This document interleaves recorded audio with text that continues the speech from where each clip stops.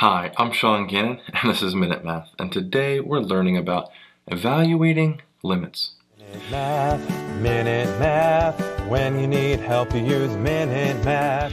We're given this limit right here, the limit as x approaches 0 from the left of the absolute value of x over x, and we need to evaluate this limit.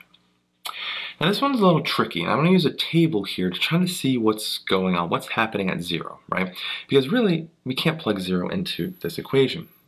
So if we use a table of just, you know, x and f of x, let's see what happens when we plug in as we approach zero from both sides, and then we'll go from there.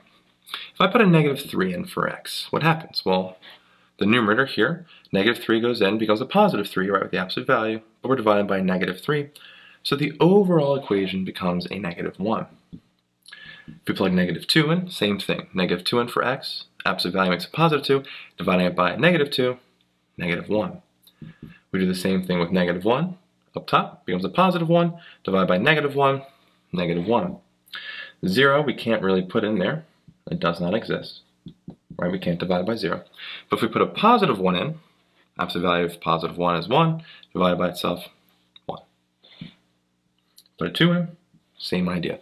Absolute value of 2 is 2, divided by 2 is 1. And lastly, a cube of 3. Absolute value of 3 is 3, divided by 3 itself is 3. Oh, is 1. I almost went through it. I was wondering if I was going to make that mistake. We have a 1 there. I can't believe I did that. All right. So what happens here? Well, when x is negative, our output is just a negative 1. When x is a positive 1, or positive, our output's a positive 1. So we're approaching zero, right? That does not exist, and we're approaching from the left there. So if we're approaching from the left, it's going to approach, well, the negative values is always going to be negative leading up to zero. That means we're approaching the y value of a negative 1.